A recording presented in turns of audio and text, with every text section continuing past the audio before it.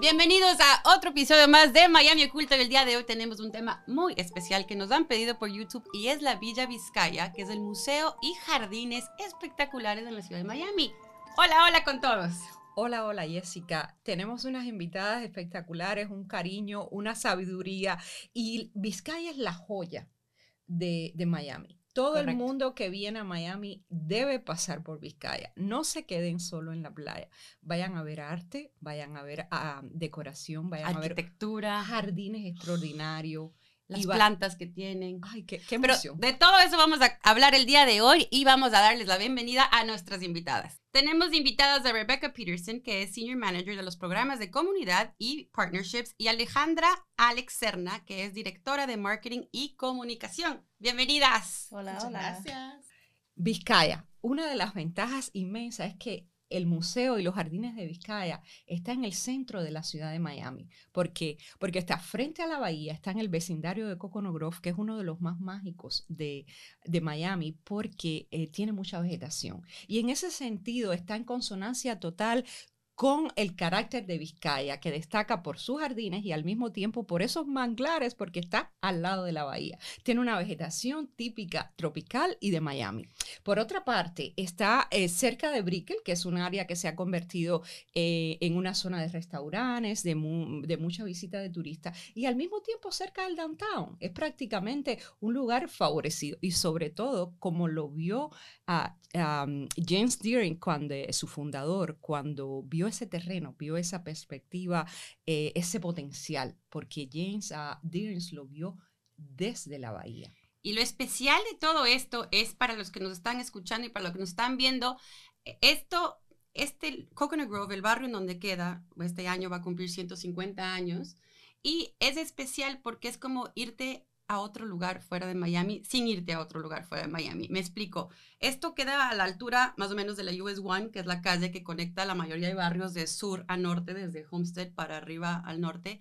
Y em, un pasito más allá queda Coconut Grove metido por la US One y es como entrar a un bosque encantado. Hay unos árboles lindísimos, es todo mágico. Y entonces, claro, uno entra a esta vía para irse a Vizcaya y ya está entrando a un mundo mágico. Y entonces cuando ve esta escultura impresionante de Vizcaya, uno dice, wow, acabo de entrar al cuento de hadas. Esta villa italiana. Y ahí queremos comenzar a preguntarles a ustedes la historia de Vizcaya, de cómo surge Vizcaya y de la historia de su fundador, de su creador, del este industrial de Chicago, James Deering, que vio ese, esa posibilidad de hacer esta joya en Miami inspirada en una villa italiana. Alex, eh, quiero oír de ustedes. El fundador de Vizcaya ah, se llamaba James Deering y él era un señor que trabajaba con el negocio de la familia, que era International Harvester. Ellos creaban cosas como tractores, máquinas para agricultura y así nació su fortuna.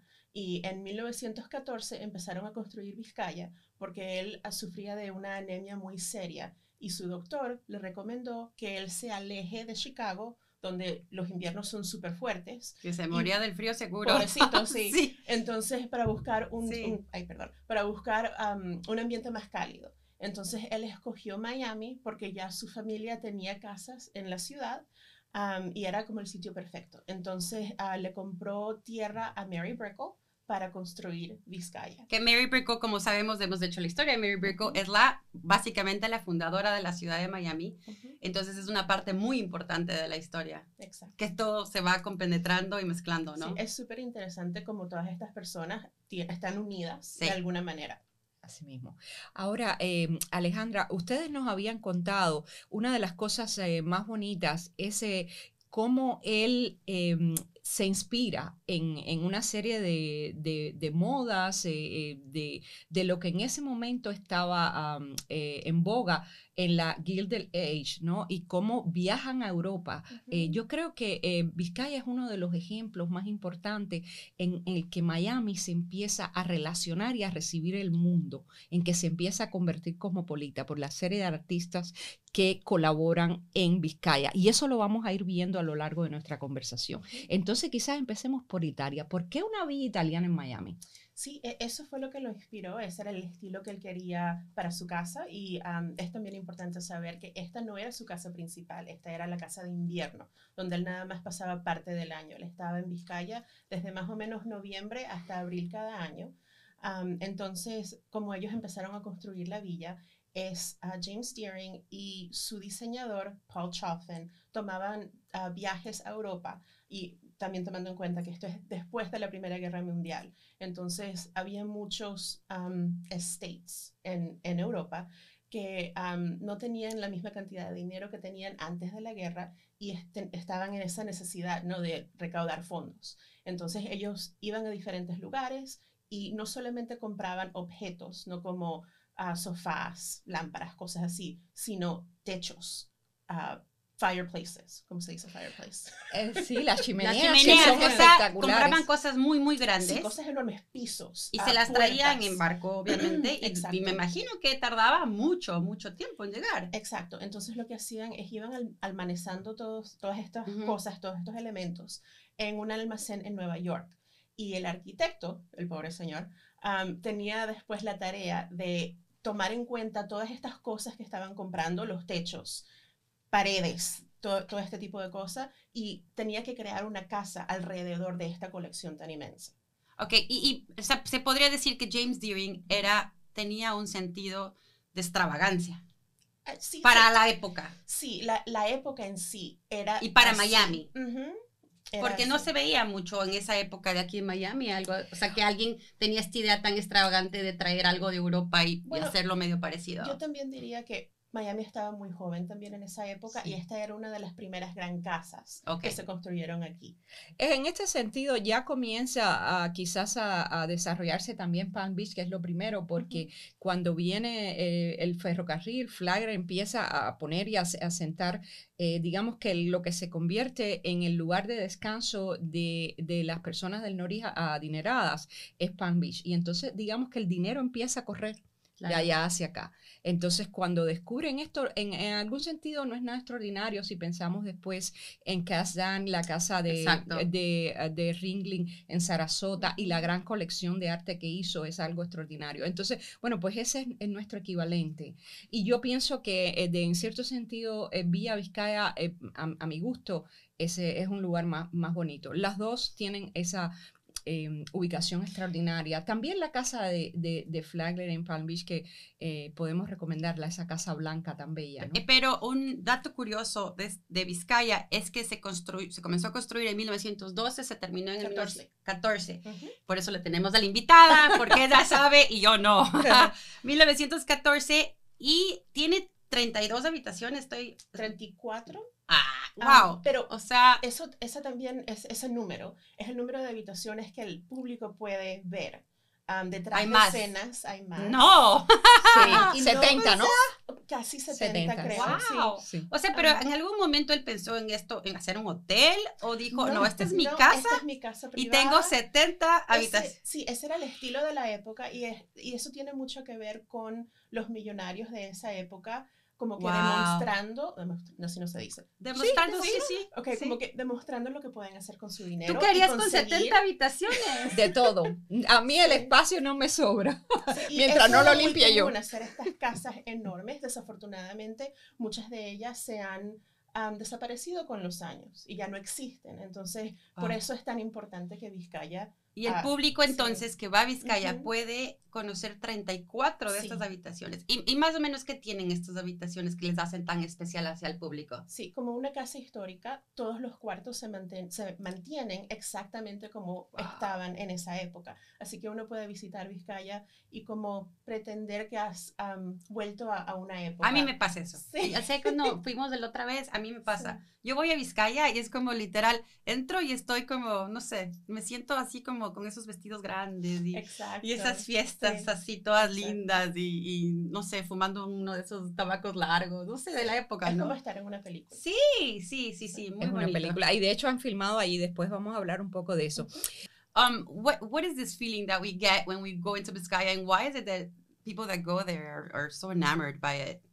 Well, you walk in and it's otherworldly, right? It's like a movie. You were talking about this. It's like a movie, it's a fantasy. So you cross the boundary and you're in the forest in the middle of Miami. It's it's unreal, right?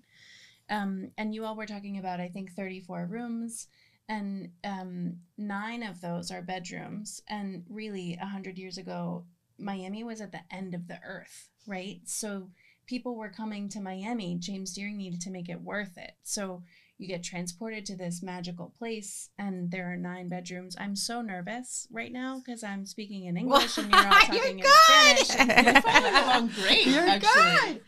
You should do this more often. Entonces, básicamente lo que nos está contando es que, claro, es un mundo mágico al que uno entra. Y en esa época nos estaba contando que, o sea, eh, eh, la gente venía y era como que Miami el fin del mundo, ¿no? O sea, ya el mar y tal, y querían como el- la lujuria y, el, y todo diferente. Y es un bosque encantado, básicamente lo que estamos hablando. Entonces, tan importante para Miami mantener esta arquitectura de Vizcaya y, y- y que no solo los turistas puedan venir, porque yo sé que ustedes tienen muchos turistas, pero los locales, porque es un lugar, o sea, para ir un fin de semana, para... tienen una cafetería muy linda ahí, eh, los cuartos, los jardines. Vamos a los jardines, Ah, los porque los jardines. jardines, una de las cosas más extraordinarias que tiene es que tiene una vinculación con el mundo hispano, porque el diseñador, el paisajista que hizo una un trabajo extraordinario, eh, su nombre es Diego Suárez, eh, Diego era de origen colombiano y curiosamente estuve leyendo y adivinen ustedes, está relacionado con Francisco de Miranda, el libertador. Fi- Imaginen ustedes, eso me lo encontré en un camino así que digo, wow, era como su eh, su abuelo.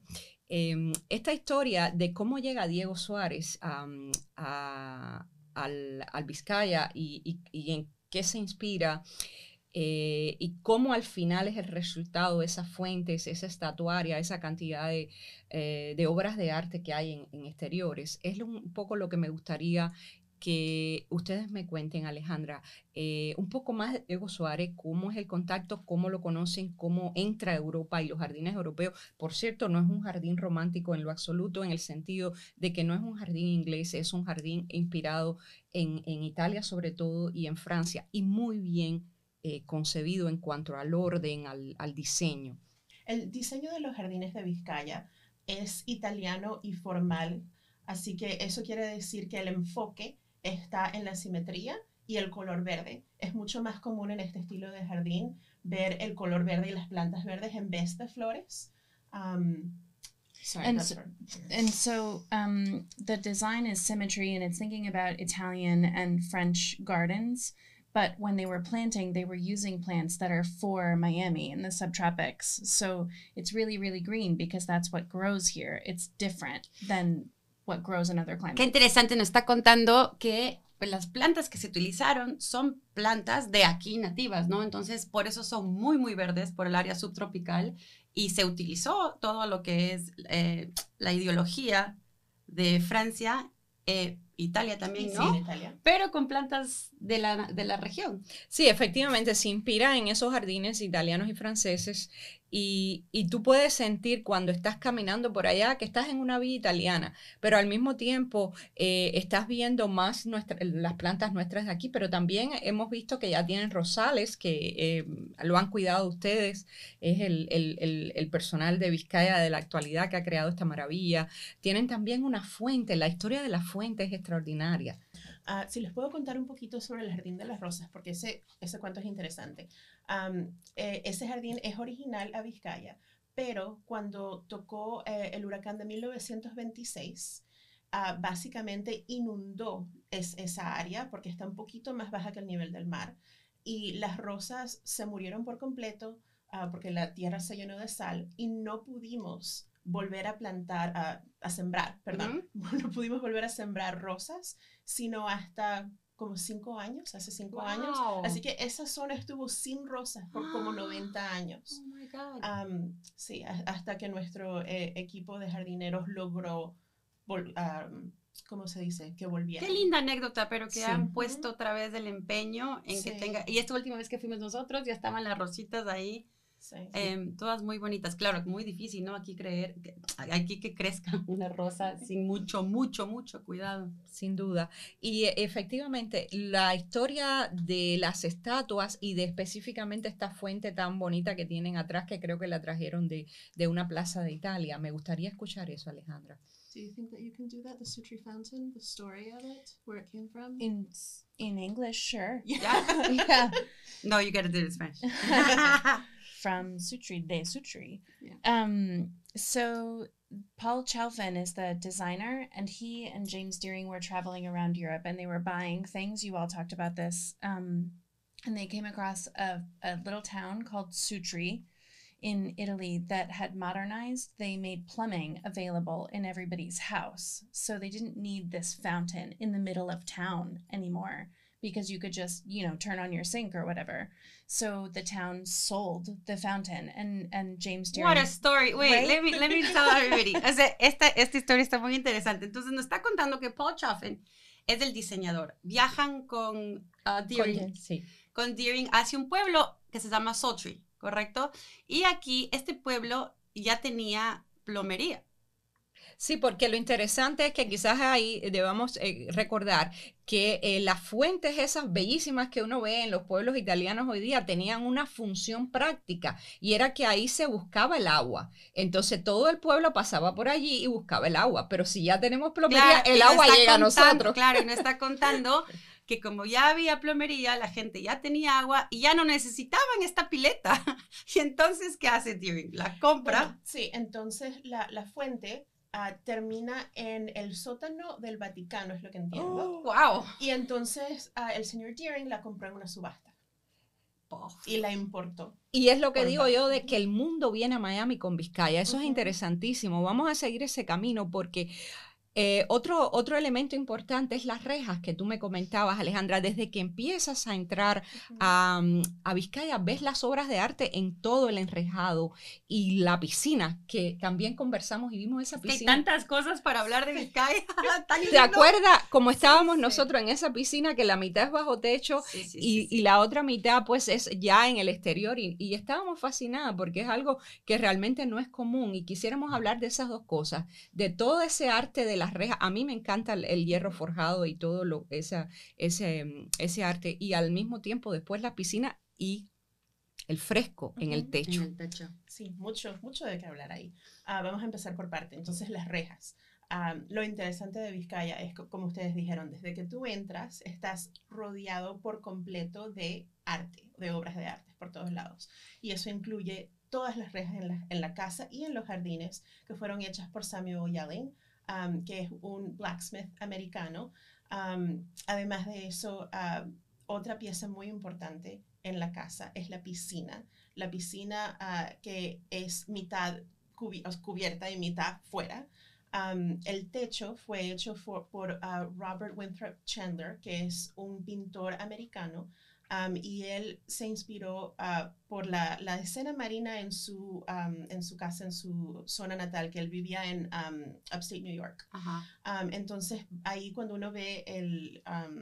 me estoy quedando trabada. El, el fresco, la pintura que está, uno- ajá. Es como un paisaje marino sí, extraordinario, sí, es sí. una fantasía marina, pero lo curioso es que, según eh, ustedes me contaron, él incorpora elementos y animales que son de la Florida, como el cocodrilo. Ujú. Pero- Exacto. Sí, y también de lo que él veía en su casa en New York.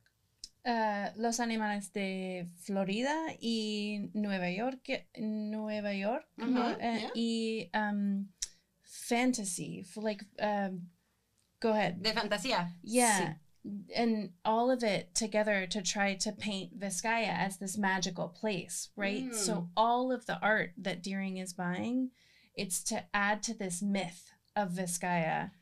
Qué interesante. Entonces dice que todo lo que estaba comprando eh, Deering era para crear un misticismo, ¿no? Claro. Un- Porque hablamos un poquito, ¿no? De que en esta época el punto de hacer estas gran casas era como De 70 habitaciones. de 70 habitaciones. Parte de ese propósito era darte un estatus, ¿no? De que tú, tú eres el dueño de esta gran mansión. O sea, como hoy en día tener un, no sé, Maserati. Exacto, exacto. Entonces, ah, parte de ese proceso para James Deering era crear como un mito alrededor de la casa.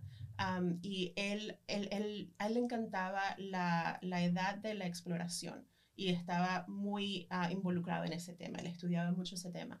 Y él am, esencialmente creyó como una persona ah, vizcaíno que eh, es un explorador mítico que él creyó. Él tomó una estatua de Ponce de León Ajá. le quitó el nombre y puso Vizcaíno. ¡No! Y esa estatua está en la entrada de Vizcaya. O sea, podemos también pensar ahí que él Mm. tenía un carácter medio, o sea, ta- como que playful, como... Sí, es verdad, porque es curioso como él, él, él cambia todo, todo un poco la historia, ¿no? Es algo que hoy se hace con, con la ficción mucho en Sí. el cine y él lo que hace es en la vida real, él le, le crea un como una especie de trasfondo a la historia de su, de su O mansión. sea, como que él muy único en su personalidad, me puedo imaginar para la época, ¿no? O sea, Sí. llega acá a Miami, se trae todas estas cosas de Europa y dice, aquí voy a hacer mi cuento de hadas. Exacto. Uno de los elementos interesantísimos es que uno piensa que, bueno, vas a entrar a Vizcaya, a Vizcaya y es un, es un lugar, una mansión antigua, pero hay una serie de elementos innovadores. Él aplica la tecnología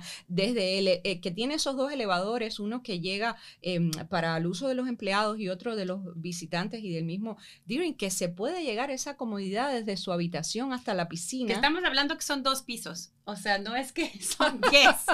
él tiene un elevador para él, del segundo piso al primer piso, y para eh, los empleados para que le suban su comida y le arreglen su casa. Es, es muy, muy interesante. Sí. Pero Alex- torres, también hay torres, así que técnicamente tres Wow, niveles. mira tú. Bueno, y el sótano. Oh, entonces ya tenemos Ah, ya cuatro. son cuatro, mira. Ya tenemos cuatro. Cuatro. Bueno, entonces esos elementos de tecnología, ustedes me lo explicaron de una manera que me quedé fascinada. Sí, bueno, para James Deering la tecnología era muy importante, considerando lo que hacía él ¿no? como negocio. Am, pero era también importante mantener ah, como esa estética, Estética, sí. estética de que era una casa vieja y no era moderna. Así que todas las cosas modernas están como medio escondidas.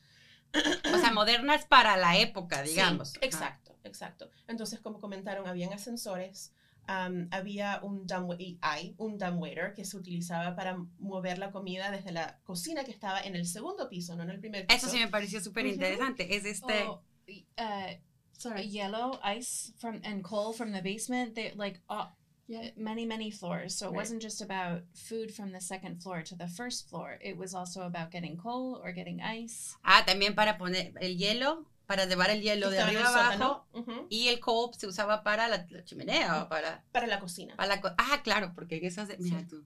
Claro, es que es todo. El muy carbón antiguo, para ¿no? la El carbón cocina. para la cocina. Ah, a ver, otros elementos que estaban así medio ocultos.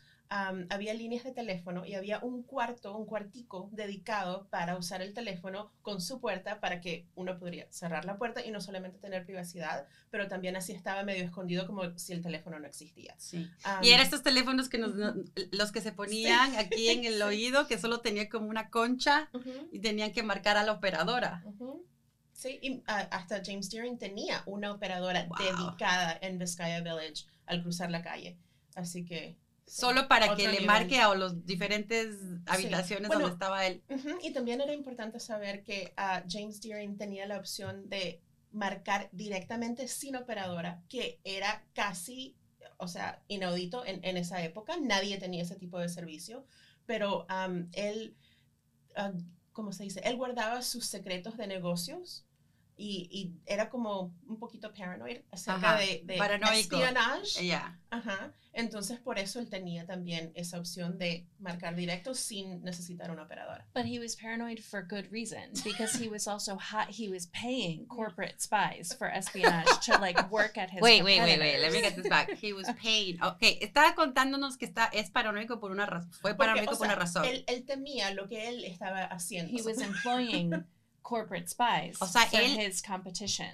Él, él había Él había reclutado contratado, o contratado ujú, a espías. espías corporativas para, que a la chequeen la, competencia, básicamente. Right, right. Sí, él, él sabía que, que, que había, que había la maldad porque empezaba por él. Era el que espiaba y entonces sabía que lo podían espiar. Claro. Eso es uno de los elementos más interesantes. Además, ese pequeño lugarcito ahí donde nos imaginamos a él tratando de estar conectado con las últimas ah, ¿Cómo sería él ahora con el movimientos del mercado, ¿no? Imagínense cómo sería con el internet. Seguro, seguro. Otra, otro elemento muy importante, porque es muy Miami oculto, es lo de las puertas secretas. Sí. Cuénteme Nosotros de estas puertas secretas. Tenemos una serie en YouTube dedicada a las puertas secretas de Vizcaya. Um, so, um, como, como en los jardines, la simetría es igualmente importante dentro de la casa. Entonces, habían situaciones donde para mantener ese elemento había que crear una puerta que no iba a ningún lado.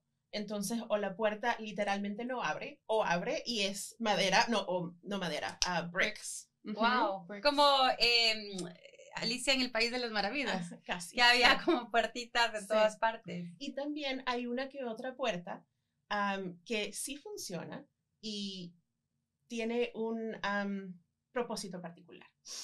¿Qué es qué? Bueno, por ejemplo, Subir hay- un pasadizo así como misterioso. Sí, hay una puerta que parece ser la puerta favorita eh, en esta serie. am, en el cuarto Españolet. Españolet es un estilo de vestido español y el cuarto está nombrado, ¿no? Por ese estilo de vestido. Y es un, un cuarto como que muy femenino, ¿no? Y ah, tiene una puerta secreta que va directo al balcón del señor Deere. Uh, mira tú, qué me estoy imaginando todo esto, ¿no? Digo, ¿a Sí. dónde va el cuarto? Movimientos en la noche, para arriba, para abajo, detrás. Y algunas veces, eh, si te confundías, te dabas con un, ah, ahí con, con, con la pared, ¿no? Porque abriste una puerta, Y ¡bum! ¡paf! no había puerta. O no te esto abre que y te estás quedas. contando de que eh, este cuarto españolet, o sea que la mayoría de los dormitorios son temáticos. Sí. Sí, sí, cada Mm. cuarto, y no solo los dormitorios, hasta los, los- las salas, todo tiene su tema y como su estilo propio.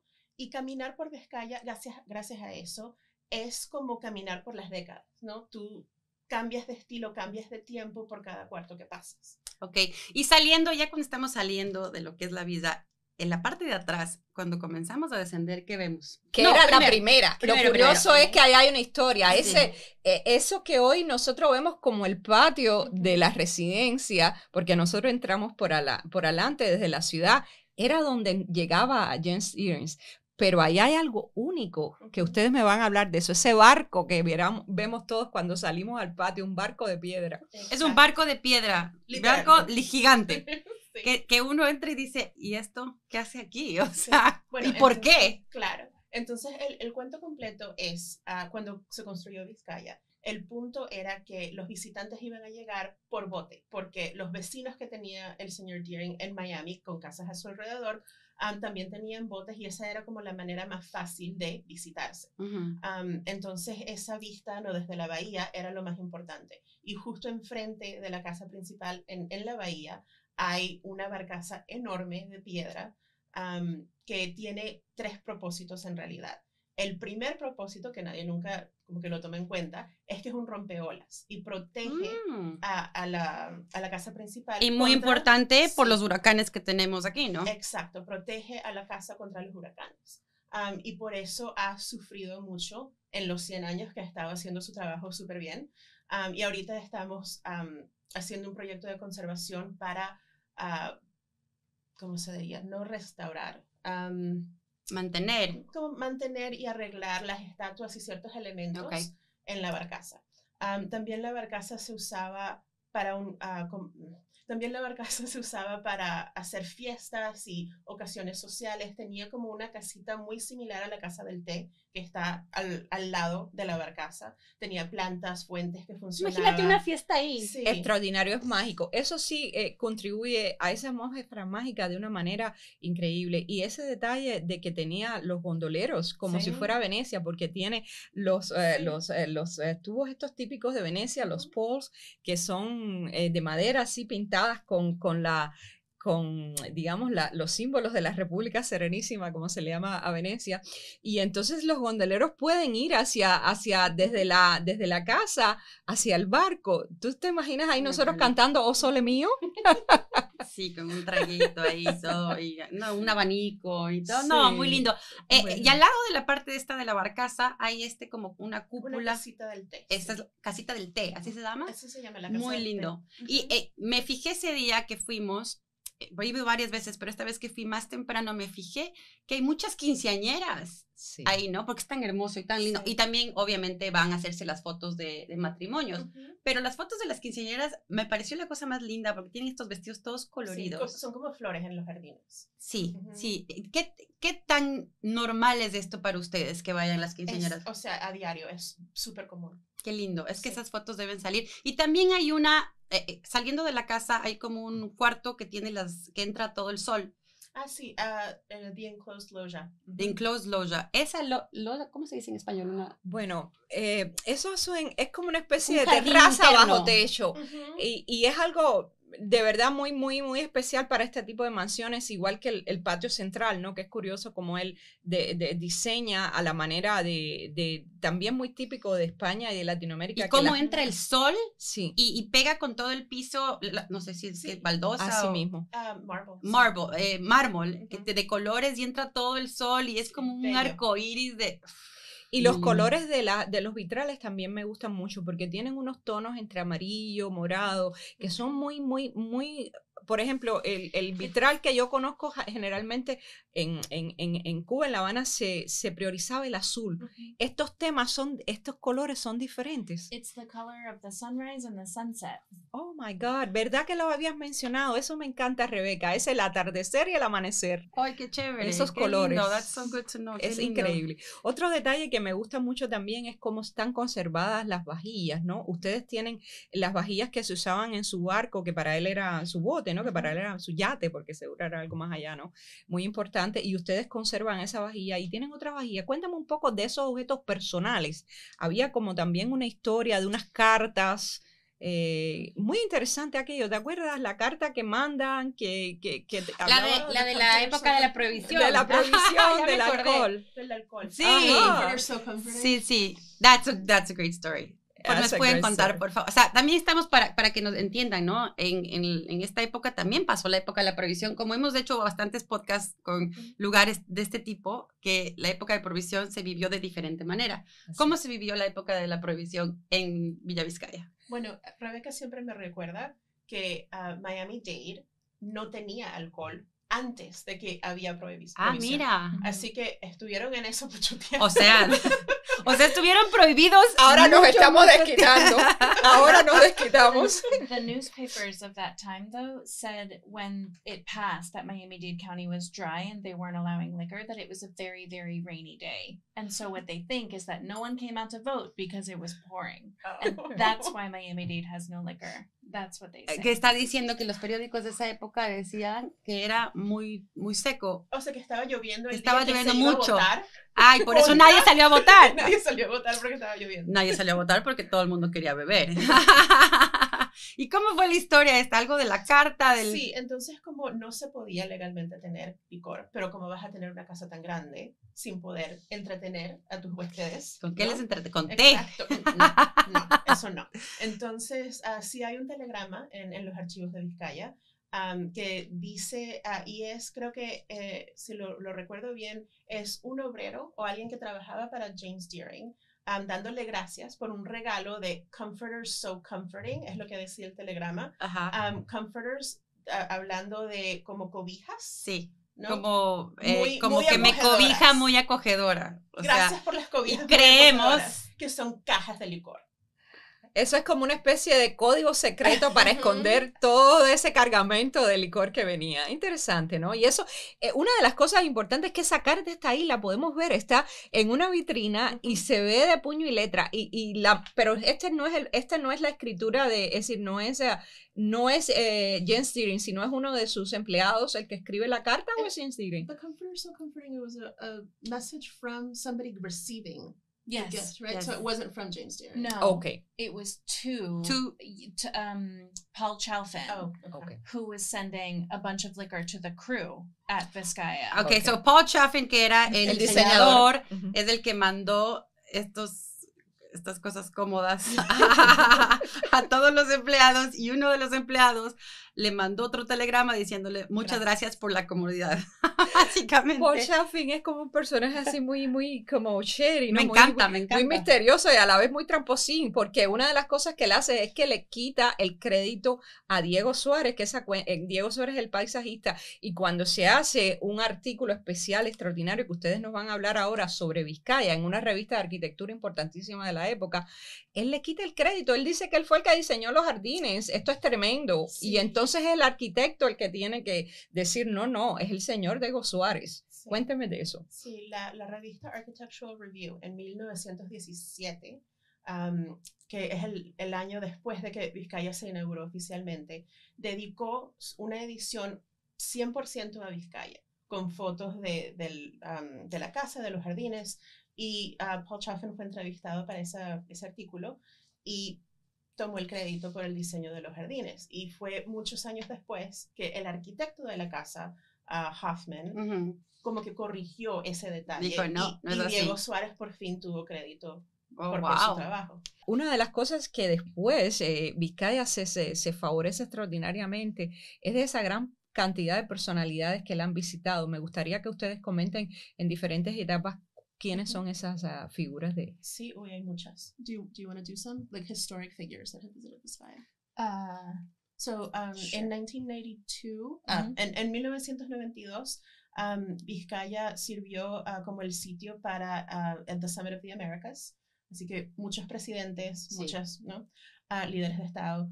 Ah, y hay una historia como curiosa de que uno de esos líderes am, era un señor de una edad muy avanzada y él necesitaba tomarse una siesta en, al mediodía.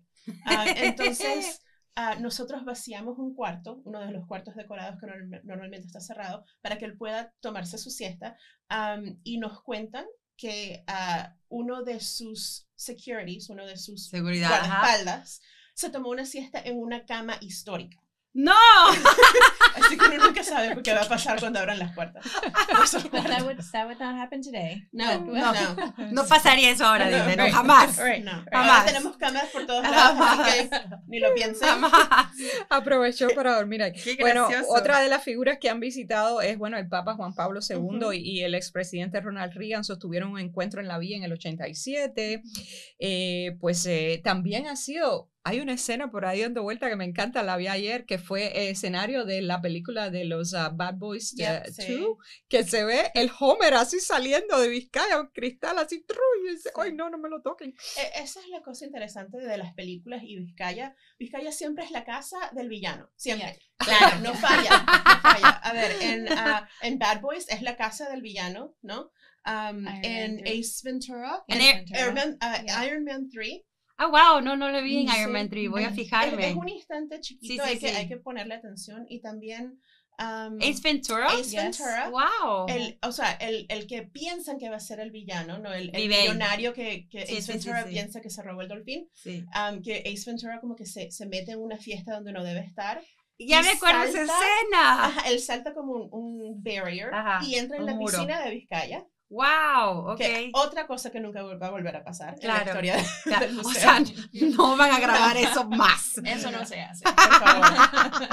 Ya que estamos ahí, podemos hablar un poco de Vizcaya ahora, de lo que ofrecen, de las posibilidades de fotografía, de fiestas, de los eventos que hacen, de cómo, pues, eh, para, para el turismo y los residentes de Miami, cómo llegar a, a entrar a Vizcaya y disfrutarlo, ¿no? Claro. Ah, bueno, lo importante de saber es que el propósito principal del museo y am, el non-profit es preservar el museo para el, el uso de la comunidad. Entonces, nosotros ofrecemos servicios que nos ayudan a preservar el museo. Ah, por ejemplo, uno puede tener su boda en Vizcaya, puede tomar fotos para quinceañeras o otros eventos especiales, ocasiones especiales. También tenemos una serie de eventos comunitarios todo el año que invitamos a la gente que venga a conocer. Tienen un market. Tenemos, ay, sí, tenemos un market los domingos en Ajá. Vizcaya Village. No hemos hablado, hablado mucho de Vizcaya Village, pero um, el um, Vizcaya en sí fue creado con una granja ah, para ayudar a que, eh, me, me sale difícil en español, ¿lo puedo decir en inglés? Sí, dale. Um, so Vizcaya was built with a village, a matching village back in 1916 when it was originally made to help the estate be self-sustaining because Miami was such a young city, right? It was the population was low. Um, when we made Vizcaya, when construction, when Vizcaya was constructed, it employed 10% of the population of Miami. Wow. So- A, a ver, le- eh, entonces nos estás contando que básicamente eh, se creó Vizcaya en 1916 y a la par eh, se creó como una villa, como una ciudadcita, un pueblito, una granjita para poder sustentar a Vizcaya. Y en esta época, la población era muy poca, ya em- empleaba el 10% de la población solo para que trabaje en esta villa y Para para, crearla, para para crear. construirla. Ujú. Qué interesante. Eso es maravilloso, ¿no? Sí. Como ha dado trabajo a lo largo de la historia eh, Vizcaya. ¿Y hoy día cuántos empleados tiene Te iba a Vizcaya? preguntar exactamente Más o menos 100 employees. Now? Yeah, Yes. like, a, like a hundred. Yeah. Más o menos. Pues es una- uh, uh, 40 or 50 volunteers, Ujú. regular Cincu- 40, volunteers. 50 voluntarios. Me imagino que tienen muchos voluntarios por, por la... En los jardines más que nada, Sí. sí. Y también cuando vimos, vi un grupo de niños. Ujú. Ay, sí, sí, también ah, tenemos ah, una sección de ah, programas educativos, Ajá. ¿no? Donde los niños con sus maestras y clases enteras pueden venir a Vizcaya y ah, tienen un currículum en la visita que complementa lo que aprenden en la clase. Eso es lo que me pareció súper interesante porque les vi con unos papeles y estaban como que haciendo algo de ciencias naturales. De, Ujú. y, y para nosotros es muy importante aquí en Miami Oculto ese tipo de cosas, porque aparte de hablar de la historia, de la arquitectura, de cómo promovemos a nuestra juventud, a, las, a la cultura y a lo que nos queda de historia, ¿no? Eh, Claro. porque Miami obviamente una ciudad muy nueva, todos sabemos eso, pero hay cultura y hay historia y es tan importante que lugares como Vizcaya den esto a la sociedad y además a a los niños, ¿no? Que es lo que, lo que nos sigue después. Claro. Efectivamente, ha sido eh, visitado por la reina Isabel, por presidentes y por los niños Por de la ciudad de nosotros. Miami, por nosotros. Las, las respuestas más comunes que yo veo de la gente, eh, porque yo también yo ah, manejo las redes sociales de Vizcaya, entonces hablo mucho con la gente, y la respuesta más común es, yo vine, yo vine a Vizcaya por primera vez con mi escuela o co- en una boda. Una de esas Wow, dos. wow. y después lindo. vienen a visitar el museo para conocerlo Para conocer más muy bien. profundo. Bueno, entonces el día de hoy ha sido una cosa súper, súper linda poder con ustedes compartir y hablar de Vizcaya. Muchísimas gracias por estar con nosotros. Los que nos están viendo, escuchando, los que nos van a leer, por favor, tienen que pues, visitar esta joya de la ciudad de Miami. Si no, Sara. Definitivamente. Es, es algo como, yo creo que Deering consiguió lo que él quería, que es trasladarnos a ese mundo mágico, pero además nos lleva hacia un momento de, de- de la historia de, Estados Unidos, de, de- los años ah, 20, de, de cómo se, se, se decora, de cómo se, se hacen jardines. Y a la misma vez, pues entonces uno puede ir allí y encontrarse una quinceañera. Hay una actualidad, ¿no? Qué lindo. Sí, muchísimas gracias. Ya saben que nos pueden encontrar en el canal de YouTube, nos pueden escuchar en sus podcasts favoritos y nos pueden leer en el nuevogeral.com. Chao. Chao.